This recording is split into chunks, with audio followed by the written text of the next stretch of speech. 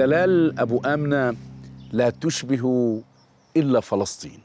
لا تشبه أحدا وإن أراد البعض أن يشبهها بأسماء كبيرة في الفن العربي لا تشبه إلا فلسطين. تنتمي إلى جمال الزيتون والزعتر.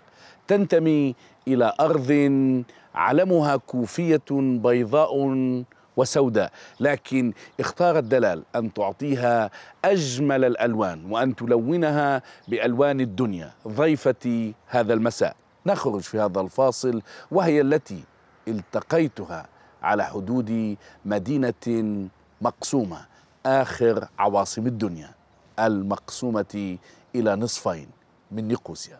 هذا عماد دبور.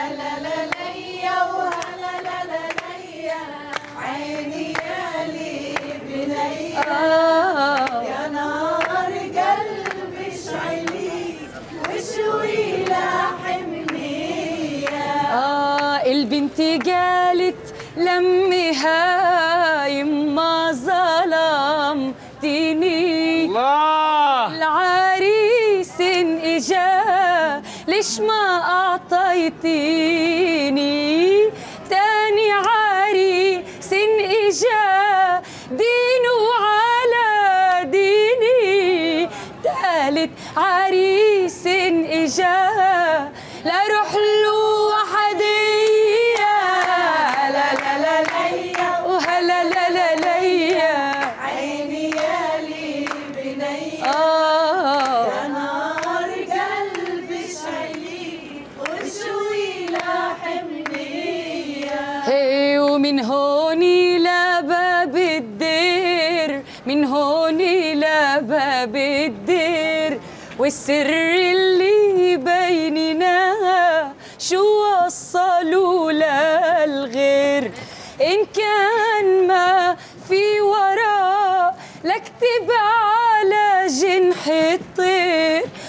كان ما في حبير بدموع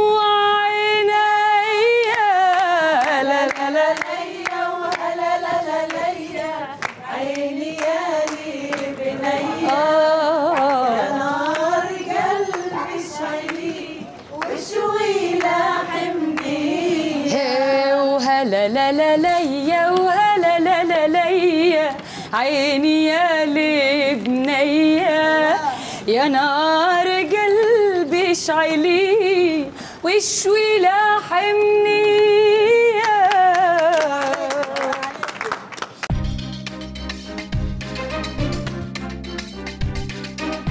دلال انتقلنا من مكان إلى آخر ولكننا لا نزال هنا بعيدين قليلا عن ذلك الوطن الجميل.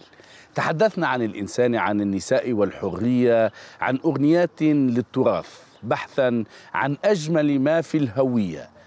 دلال أنت أيضا اخترت البحث العلمي. كدت أن تكوني طبيبة لكنك اخترت أن تذهبي أبعد. دخلت إحدى أكبر الجامعات في بلدك لسبب خاص جدا.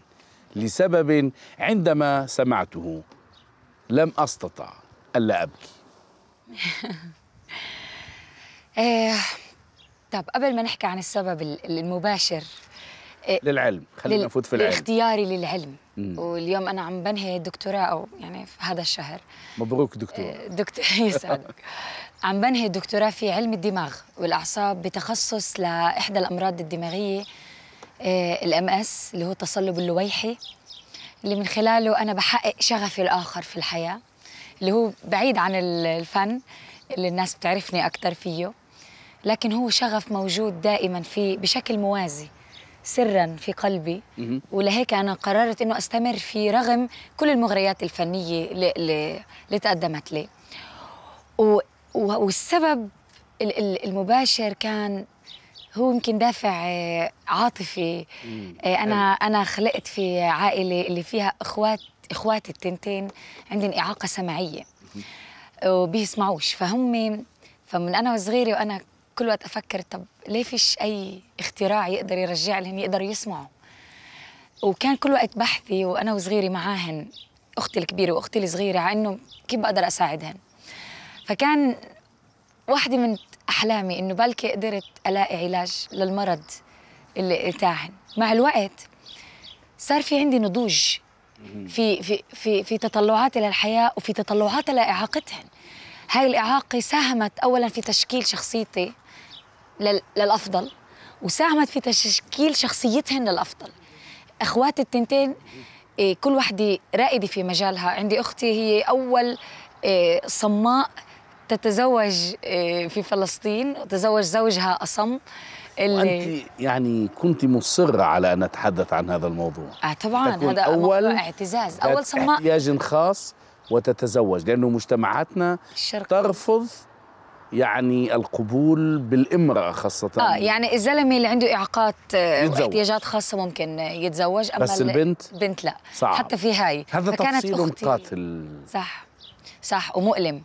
آه لكن أختي كانت رائدة في هذا أول شيء طبعا هذا كله بدعم من أهلي من أمي وأبوي اللي ربونا في باعتزاز تحية بنفسنا. لبيت أبو آمنة. يسعدك وأختي الصغيره اليوم هي المصورة معي فيها ستي فهي بتلف معي وهي صديقة. خاصة لإلي صديقتك طبعا فاتن. ومبدعة ومتألقة في مجالها وهي من الفخورين. بانك تسمعش قالت لي حتى لو في اختراع يرجع لي السمع أنا ما بديش. أنا أعتز هاي لغتي هاي لغة لازم الكل يتعلمها. و.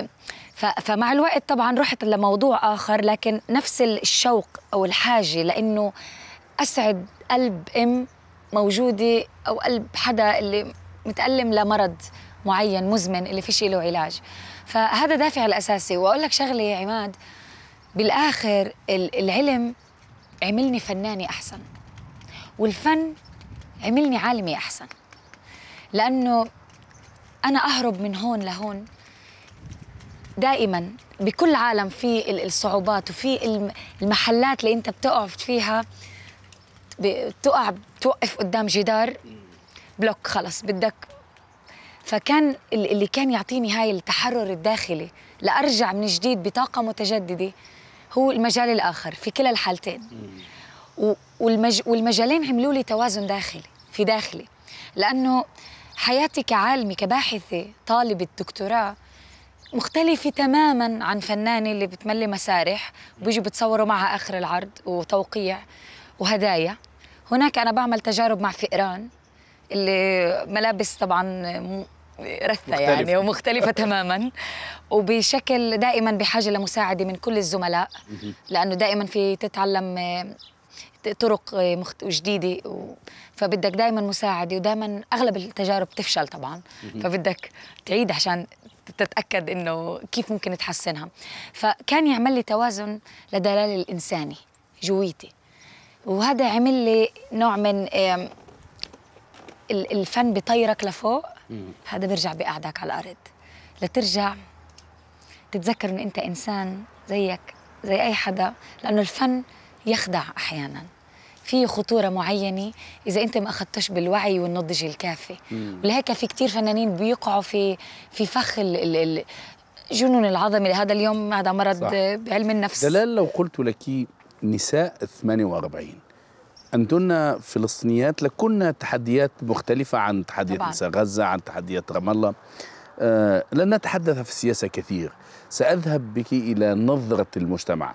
أثرنا موضوع أنكن نساء متحررات لكن كنا يعني آه وأنت بالذات تريدين أن تقولي دائما وتفرضي حتى على المسارح أنه قيمي ومبادئي وأخلاقي هي فوق كل شيء. أنا امرأة حرة. ما هي تحديات المرأة الحرة في نساء لنساء عرب 48 أو إيه. تحت الحكم الإسرائيلي. أوكي إحنا اولا يعني دائما أصر على إنه تسميتنا هي فلسطينيو 48 مم. لأنه عرب يعني كأنك عم بتقول عن واحد فرنسي أوروبي آه آه، أوروبي يعني حتى يعني فلسطيني صفه أوسع. 48 وبلاش نفوت مواضيع العروبة ومواضيع آه، فخلينا على فلسطينيو لفلسطين 48 ألم عربي أكثر من أي طبعا شيء. طبعا يعني ول- وللأسف هناك ردات فعل فلسطيني تجاه طبعاً. الانتماء العربي. أكيد. لا للأسف كان في تسميتنا خطا كان كثير يسمونا بعرب إسرائيل. عرب إسرائيل. وهاي تسمية شنيعة جدا وقبيحة جدا. عرب إسرائيل مش فلسطينيو 48 اللي بقوا بأرضهن وما قبلوا يستغنوا عنها. طبعا إحنا تحياتنا لكل اللاجئين اللي بالشتات اللي هن طبعا اضطرارا طلعوا هن مش لأنه استغنوا عن الأرض آه، طلعوا. آه، لكن في ناس قدرت تطلع وعلى أمل إنها ترجع وفي ناس ما قدرتش تطلع أصلا. مش لأنها تخاذلت ولا أنها تعاونت. فإحنا مرابطون في الأرض. وإحنا اليوم نشكل مليون ونص وأنا جيل رابع للنكبة. ويعني شايفني وين أنا موجودة وشو عم بحاول أعمل. وزي كثير العبرية بطلاقة صح؟ طبعا. وجيلك. أنا بتعلم في جامعة إسرائيلية بالآخر. و... وهذا هذا واقع فرض علينا. في شو أغير. الهوية أو الجنسية اللي معطيني إياها مش عارفة مين. ما بتحدد لي انتمائي وما بتحدد لي وين شغفي يروح وين أنا حضاريا وين أنا أنتمي. إيه قلبيا ويعني اولادي اليوم بتشوفن إحنا كل أسبوع عنا لازم تروح رحلة على قرية مهجرة ليحفظوا تاريخهم لأنه طبعا في محاولات أسرلي محاولات واليوم مع الواقع العربي المؤلم اللي حواليك اللي كل دولة عربية اليوم بلشانة في مأسيها وفي حالها. اليوم إحنا صرنا كفلسطينيين في عزلة وال 48 كنا في عزلة وجدار وعزلة ثقافية مش بس عزلة يعني جغرافية. اليوم إحنا كفلسطينيين وجدنا إنه الحل الأنسب لقضيتنا الفلسطينية هي مش الاستنجاد بالعربي الت- اللم الشمل الداخلي ما بين فلسطينية 48 غزة الضفة الشتات القدس كل هاي التقسيمات اللي عملونا إياها السياسيين. لم الشمل لحتى نقدر نتكاتف ونعمل بناء مؤسساتي قوي لنرجع نقوم على إجرينا.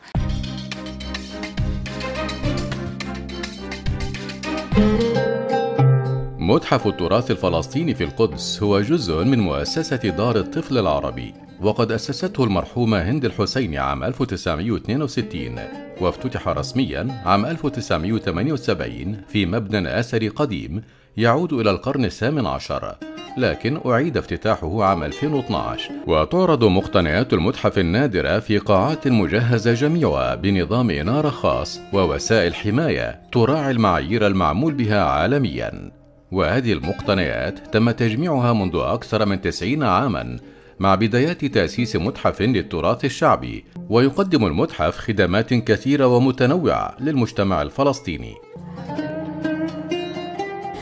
معظم المقتنيات الموجودة في المتحف سواء المعروضة أو غير معروضة هي من أواخر القرن ال 18 لبداية القرن ال 19 آه، الفكرة الأساسية كانت إنه هي إحنا نقدم آه، جزء بسيط آه، ثقافة كمان بسيطة تعرف الجيل الجديد على التراث الفلسطيني اللي هو إحنا لليوم اليوم عم نشوفه إنه هو عم بيضيع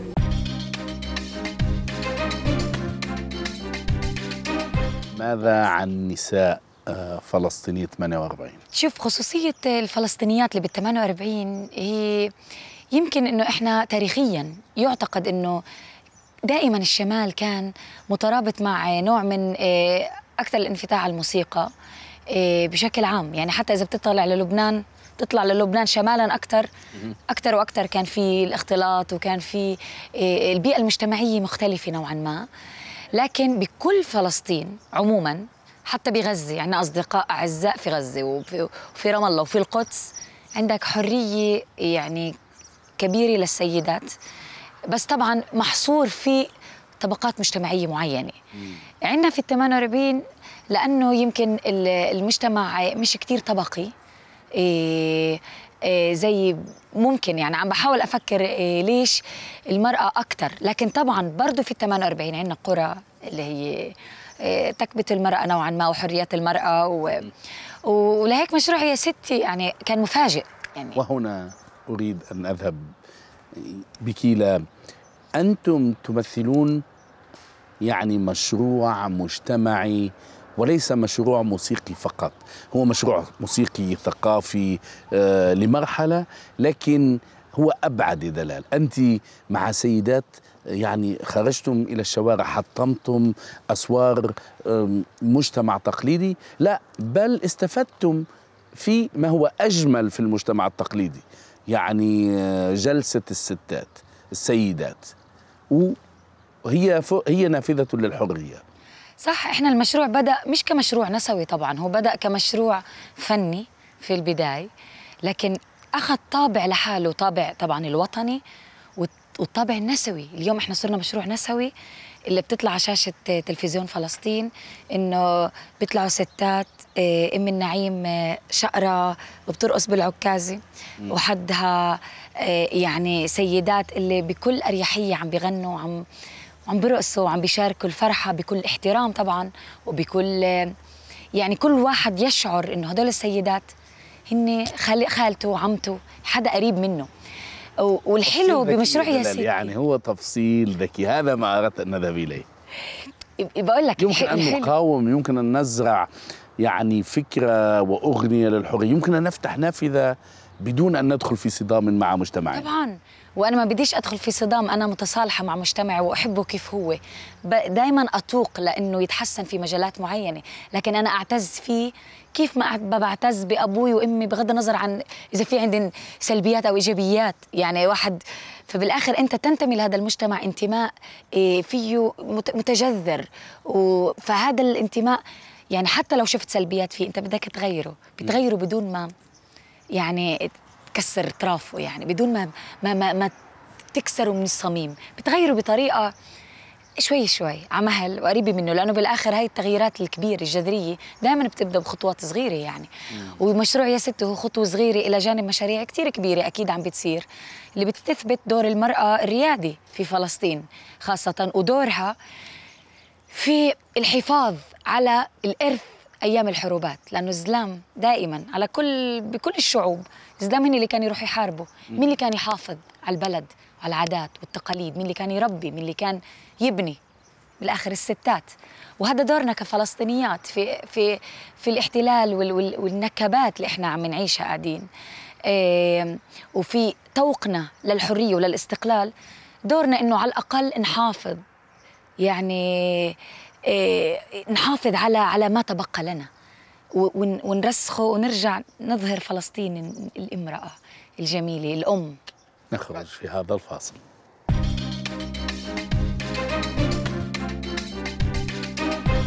لما بدنا نيجي ندرس أشك... شكل المجتمع المتجدد من سنة لسنة من فترة من حقبة لحقبة تعرف كيف بنقراه؟ هذا مش بالتاريخ التاريخ مزور تاريخنا مزور. بنقراه من خلال الأغنية النسائية.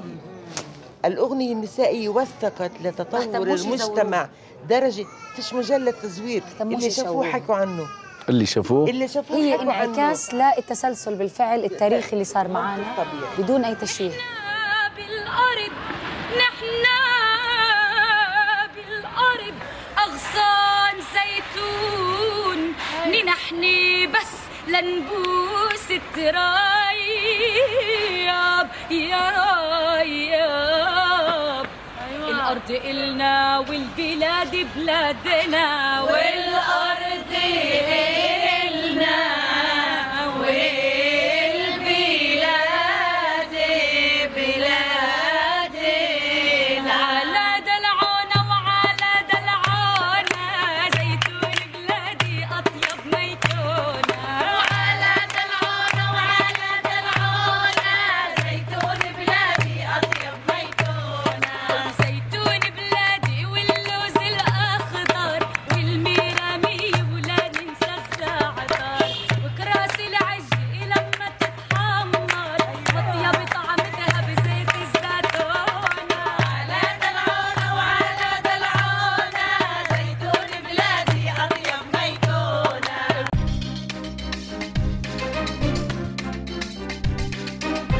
دلال والمسارح العربية.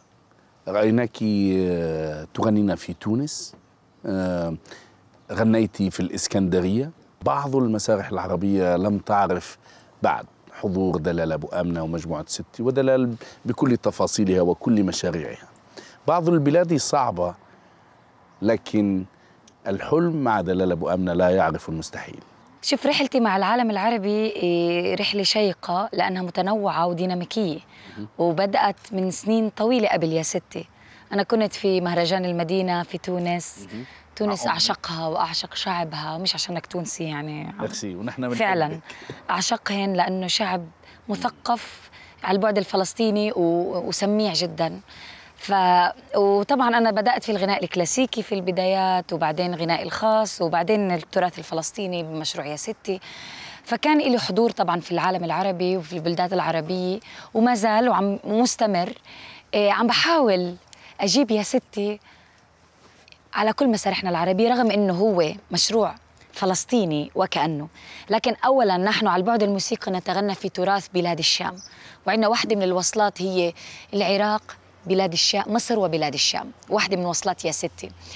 و للتو... لتأكيد ال- ال- ال- العروبة أو ال... الشعور الجماعي وال... والعاطفة الجماعية اللي موجودة عندنا كفلسطينيين بشكل عام وكفلسطيني 48 ف إيه، فاليوم عم نجيب يا ستي رح يكون يا ستي في مصر بدعوة من وزيرة الثقافة نفسها اللي هي طلبت إنه يكون هيك مشروع لأهميته على البعد العربي. يعني وزيرة الثقافة المصرية أعجبت جدا في عرض يا ستي. و... أستاذة إيناس. وأستاذة إيناس طبعا دكتورة إيناس وهي موسيقية كمان. وهي أصرت على إنه يجي مشروع يا ستي في واحد من أكبر مهرجانات مصر مهرجان القلعه إن شاء الله رح نقار يعني نشارك فيه قريبا. اللي هو مهرجان شعبي مصري وبيشارك فيه عادة فن فقط فنانين مصريين. إيه، وإحنا طبعا رح نهديهن وصلة ستي. ستي الفلسطينية رح تسلم على ستي المصرية ورح نطلع مجموعة ستات مصريات اللي نغني فيها على بياعين العين يعني الغناء التراث التراثي المصري الأصيل. كنت راح أغني معك النسوي. دلال انتبهتي؟ أنا حسيتك طلع فعشان هيك سكتت. إيه، وكمان كنا في الجزائر ونفس الشيء.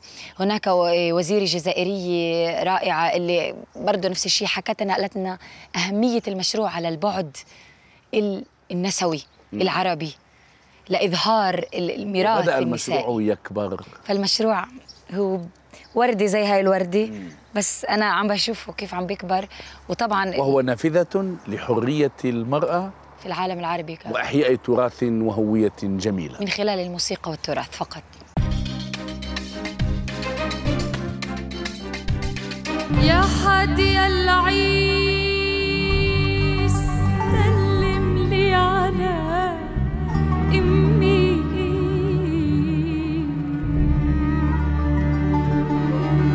يا حادي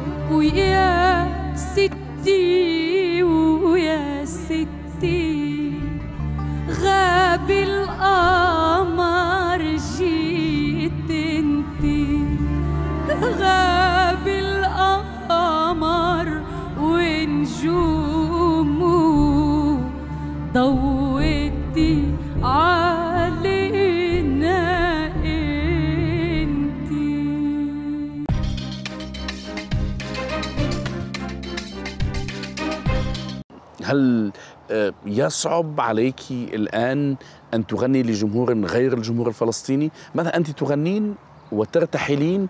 غنيت في أمريكا في أوروبا لكن التركيز يكون على الجمهور الفلسطيني على ال- الأردنيين والفلسطينيين الموجودين في ذاك البلد. مش عيب. لكن متى سنرى لدلال جمهور أكثر متنوع؟ طيب اولا إيه، هو التركيز مش بسببي بسبب اللون اللي بأديه أنا ليه عم بأدي هذا اللون؟ عندي لكن رسالة. الفلسطينية وأنا أقاطعكم آه. معشوقة عند بقية العرب. طبعا. من وهذا اللي بنعمله. نعم. لهيك إحنا بالجزائر عملنا هيك والجزائريين دبكوا دبكة فلسطينيه وعملنا نفس الشيء في مصر لما كنت آه، وكان الجمهور جزء كبير منه مصري قبل آه، في الإسكندرية في مكتبة الإسكندرية. آه، بالعكس مش أنا اللي عم بحصره بس في نظرة مسبقة عن التراث الفلسطيني عند الجانب العربي هو اللي بيفكر إنه هذا ممكن يكون غير يعني irrelevant يعني حد غير يعني قريب أو هاي. وهذا اللي عم نحاول نكسره وبس بمساعده ناس زي وزير زي الوزيرات اللي حكيت عنهن طبعا اللي هن شايفين القيمة تاعت الموضوع. إيه على سبيل المثال ممكن أحكي لك شغلة كمان. إحنا كنا في لوس انجلوس وكان إيه في يعني حضور للجالية ال- ال- السريانية أو السورية المسيحية اللي أجت من قرية فيروزة تهجرت وتهجرت كلها ل- ل- للوس انجلوس أعجبوا جدا في العرض وهن صاروا بدهن بدهن اياني وطلبوا إنه يعني إذا في إمكانية أزيد أكثر أم كلثوم وأشياء لأنه كمان بيحبوني بهذا الجانب. وأنت تتحدثين عن سوريا هذا وصرت كما قلت فلسطين الأخ الأكبر في الألم والتجربة والتهجير. آه، تستحضرني أغنية قديمة من تراث جميل يتحدث عن المقاومة في بيروت وحلب. عروزنا حابة أغني لك إياها يعني. واحكي لي. احكي احكي وغني. أنت حرة يا دلال. كل ما نغني هاي الأغنية بفلسطين في كل مكان. أول ما نقول يا رايحين على حلب حبي معاكم راح. فهذا تصفيق بصير بالجمهور هالقد كبير. لهذا التعاضد طبعا مع مع إحنا شعب واحد. بلاد الشام إحنا كل العرب الع- الع- العروبة كلها شعب واحد لكن بلاد الشام والهلال الخصيب إلها يعني تفصيل خاص. طبعا تفصيل خاص. فممكن نقول هي عروزانا عروزانا كل الهنا فيها. وش عملت الروزانة الله يجازيها. يا رايحين عحلب حبي معكم راح يا محملين العنب. تحت العنب تفاح كل من وليف ومعوانا ولي فراح ويا ربي نسمة هوا ترد الولف ليا. عالروزانة عالروزانة كل الهنا فيها وش عملت الروزانة الله يجازيها. وهناك مقطع جميل عن الناصرة والنصروية تقولين فيه؟ يا رايحين عصافد صفوا لي نيتكم تلتاني عقلي شرد فيها وبنيتكم وحلفتكم بالنبي مني. ني ميتكم وميتنا عين العذراء شرب النصراوية. عالروزانة عالروزانة كل هنا فيها وش عملت الروزانة الله يجازيها.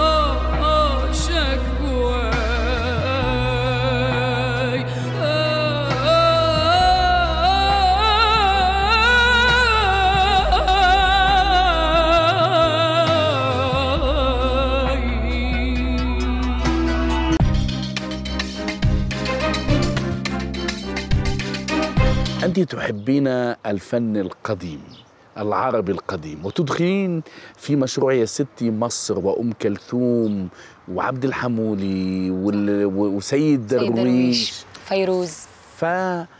فغني كطير حر من مصر إلى لبنان. بدك ياني أغني؟ آه. فغني طير كطير حر من مصر إلى لبنان. مقاطع تختاريها أنت. ممكن نيجي نعمل لسيد درويش. طلعت يا ما أحلى نور. شمس الشموسة. يلا بينا نملى ونحلب لبن الجاموسة. قاعد عالسقيا يا خلي أسمر وحليوي. عوج الطاقية وقال لي غني لي غنيوي وقلت له في قلبي يا خلي يا اسمر يا حليوي قدم لي وردي وقال لي حلوي يا عروسي طلعت يا ما أحلى نوره. شمس الشموسي يلا بينا نملى ونحلب لبن الجاموسي لا تستطيع أن تغيب مصر وبلاد الشام بعد أن تحدثنا عن تونس والجزائر من فتاة فلسطينية أن تهدي كل هذا الحب. شكرا. أهي لو كان بإمكاني أن أهديك أحلى الوردات. وأنت تغنيتي لكل سمر ورد الأرض. يعني. الله يخليكي يعني سعيدة جدا. كتير سعيدة أنا هون. معك بكلامك وبالمحبة والحب باين نحن مش. أصدقاء ولا شيء يعني. كأنه يعني. كأنه كأنه.